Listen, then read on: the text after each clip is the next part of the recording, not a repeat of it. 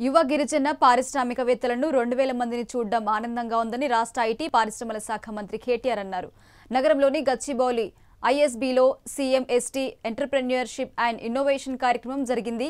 ఇక ఈ కార్యక్రమానికి మంత్రులు కేటీఆర్ సత్యవతి రాథోడ్ ముఖ్య అతిథులుగా హాజరయ్యారు. శిక్షణ పొందిన గిరిజన పారిశ్రామికవేత్తలకు మంత్రులు లోన్ పత్రాలు అందజేశారు.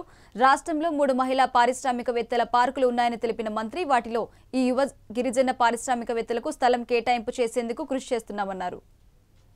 వాణిజ్యమైనా రాజకీయమైనా లేదా ఏ వృత్తిలో మీరు ప్యాషనెట్గా దిగినా మీ ప్యాషన్ని మనసు నిండా నింపుకొని దిగిన వంద శాతం విజయం సాధిస్తారనేది నా ఆత్మవిశ్వాసం. దానికి గొప్ప ఉదాహరణ మన ముఖ్యమంత్రి కేసీఆర్ గారు. కేసీఆర్ గారు రెండు వేల ఒకటిలో తెలంగాణ రాష్ట్రం అనే ఒక ఆలోచన మొదలుపెట్టినాడు.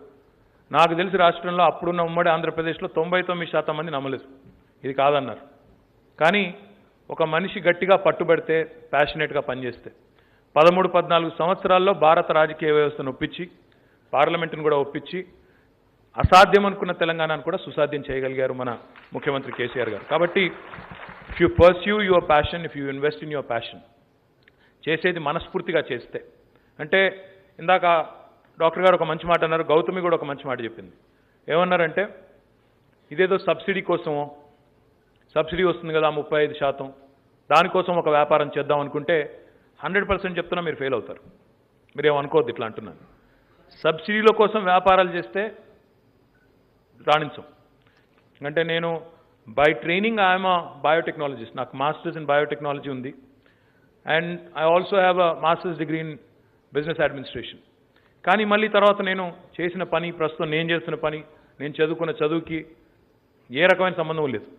అయినప్పటికీ చదువు కొన్ని బేసిక్ పరిజ్ఞానాన్ని కొంత విషయ పరిజ్ఞానాన్ని కొంత బేసిక్ తెలివితేటల్ని ప్రపంచంతో పోటీపడే ఒక సామర్థ్యాన్ని ఒక కాన్ఫిడెన్స్ని ఒక విశ్వాసాన్ని చదువు ఇస్తుంది. తర్వాత దాన్ని ఎట్లా వాడుకుంటాం? ఏమవుతాం?